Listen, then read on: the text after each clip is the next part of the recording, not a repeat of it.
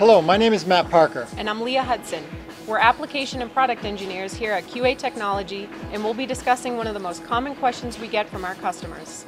How long will my probes last?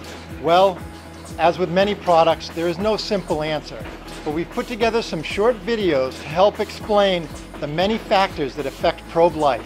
Our goal with these videos is to explain how to improve your probe's performance and longevity. We'll begin by looking at test applications, board manufacturing processes, test environment, board manufacturing materials, and fixture design. And then we'll discuss the importance of the right probe choices for your application and finish up with some advice on care and maintenance. It's no surprise that measurement sensitivity is a critical factor when considering probe performance. While a short or open test may not need precise measurements, a loaded board test may require greater precision.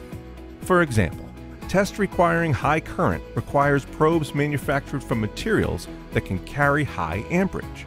Or, for targets with closer than average centers in high density areas, many of the test targets get placed on smaller center spacing.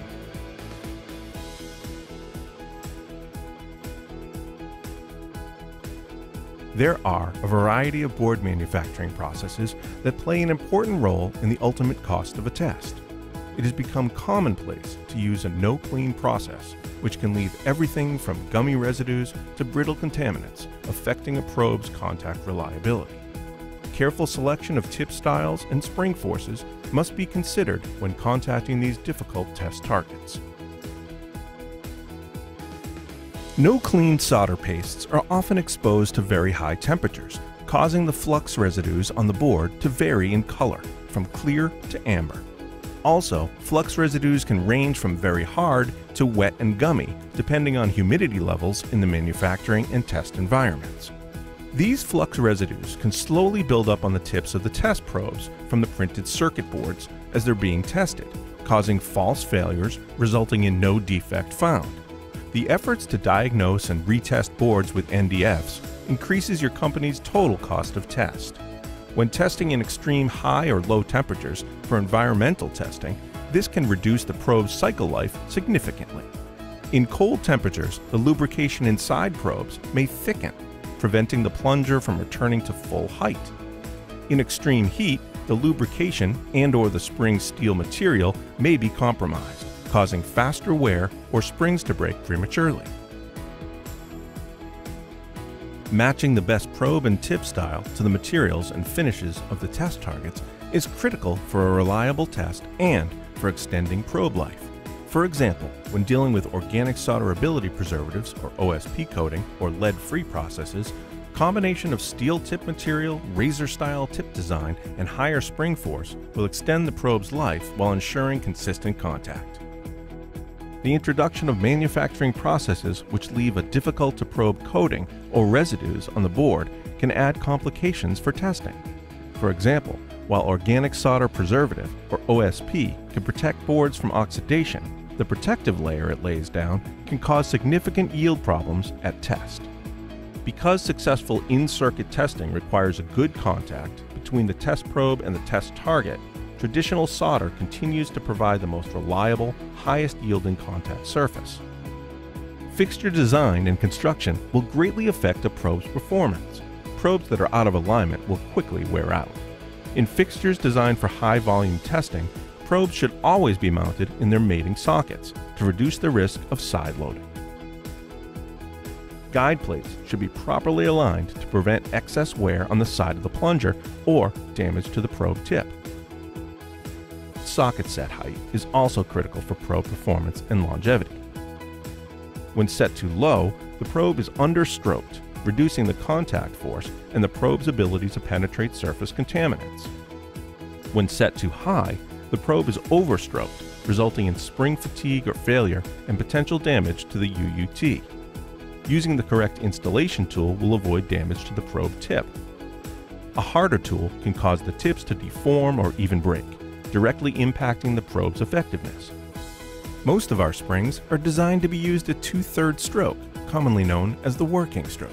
Using probes outside of their recommended working stroke will decrease first pass yields. Overstroking a probe will shorten the spring life or may damage the UUT. There are several factors to consider when selecting spring force in a vacuum fixture. Total collective probe force, condition of the contact surface, and distribution of the probes. Use our indicator probe to measure the deflection amount and ensure probes are operating with the correct working stroke in your fixture. Now we're going to discuss how to make the right probe choices for your application. We've seen how multiple variables play a part in probe effectiveness and longevity. That's why QA Technology offers a wide range of tube, spring, and tip options to ensure the best possible probe choice for a specific application, environment, manufacturing process, and test target. The probe tube is the most important factor dictating the resistance and current rating of a given test. QA offers five different material choices, ranging from an economical bareboard nickel silver tube to a high conductivity tube for high current applications. Choosing the right tube will yield the best results. QA springs are made of music wire or stainless steel and are designed for a maximum life cycle within a given force. Our high preload springs offer a higher and more consistent force during the first two thirds actuation for better penetration and higher first pass yields. Choosing the right plunger tip material for the application is important to help balance cost, effectiveness, and durability. For low volume applications, beryllium copper is an efficient choice. Steel tips are harder and will remain sharper while contacting challenging targets such as OSP, no clean, and the like we plate both types with hardened gold to eliminate surface oxides and ensure lower electrical resistance. As with any moving part, it's critical to lubricate sliding surfaces to maximize performance. Lubricated probes will have lower and more consistent electrical resistance and last longer. However, some applications, such as extreme low temperatures, require unlubricated probes. It's important to recognize that these probes wear more rapidly. The additional friction can also cause higher electrical resistance, leaving particles inside the probe and potentially causing stroke failures. Selecting the right tip style and size for the target is possibly the most critical of all the choices you'll make. Although QA's razor tips are especially effective for OSPs, the sharper probe tips and greater spring force required to penetrate the coating can accelerate probe wear